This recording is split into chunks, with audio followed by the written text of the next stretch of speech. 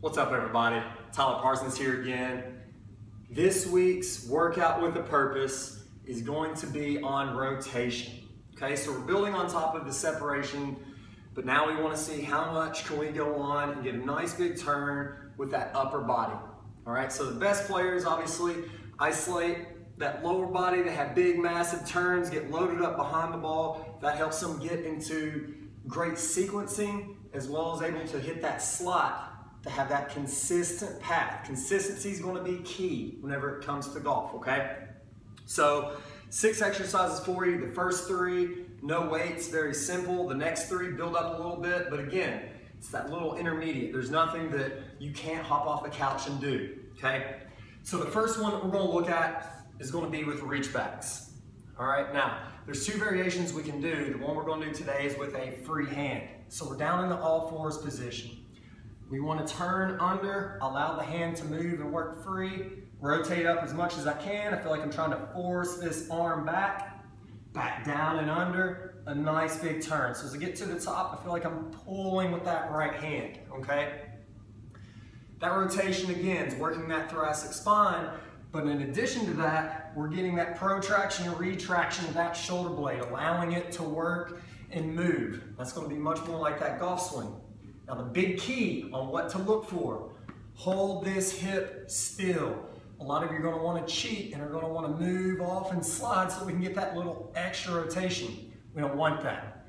We wanna keep the hips nice and still, turn as much as we can, go through, go to that other side, all right? Keep it simple, go through, do a set of 10 if you need to. If you wanna build on it, we can always do that second, third, what have you, okay? Moving on to the next, we're gonna hop up and we're gonna do a nice little A-frame stretch. So here's my nice letter A. Same thing, I wanna watch the hips. I want a nice big turn. Getting that to move up. Again, just rotating side to side, okay? The next one is a windmill. Now we can either do this with the club behind our back, in which case now this locks in those shoulder blades, makes it a little bit more difficult, or we can do it with a nice free hand and as we go free-handed, always try to tell the player, feel like you're Gumby. If you don't know who Gumby is, you're probably a little bit too young, but nice big turn. I can see this going back as I get up, and then as I'm coming through, you can see it's just pretty loose with the hands. They're just sort of flopping around. Nice and elastic, building that up, but really trying to turn, turn, turn, turn. Pull as much as you can back, push through with that other side, Get the entire back involved. Allow those muscles to fire and do their job because a lot of you have them shut off, okay? We're over to our next segment with the weight.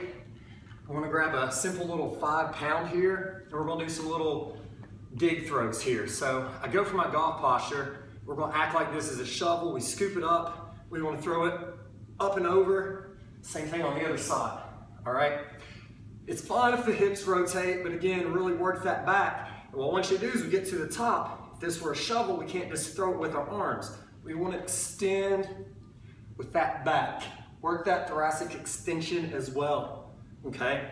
So we're just going side to side, nice and smooth. Not trying to throw it and flop it up. Nice controlled movement, extend at the top.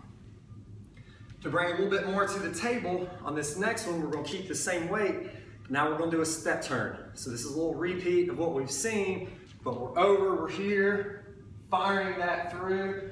Again, this is gonna be important. I'm gonna turn to the back. As I come through, I'm gonna allow this left arm to come back around. So that's working that shoulder blade. As I go to the other side, turn a little more. Now we've got this one moving, okay? So again, it's not all about just rotating. We gotta get those muscles to work with us and for us instead of against us. It's a nice big turn step, nice big turn. We're just going side to side. Again, really trying to thrust into it. Throw that brake on with the front leg, with those hips around, and then really let that body turn. For the last one, you can use a bench or a stability ball. Stability ball is a little bit harder in the sense, if I start to wobble and move around as I turn, it's not gonna stay stationary, okay? But we take a nice little weight, we're gonna go from here Nice big turn as I get to here again. I'm trying to keep on turning the best that I can. The lower body has to stay nice and still. Turning to the other side. The big key to look for, always try to get somebody for the first time in front of that mirror. You don't want to rock this way and try to counterbalance. I want you to engage in that core. I have to brace, get a nice big turn from there. Nice big turn, again, staying nice and vertical through there. Get to work on these, it's gonna help out with your rotation, get you hitting more consistent and some longer drives.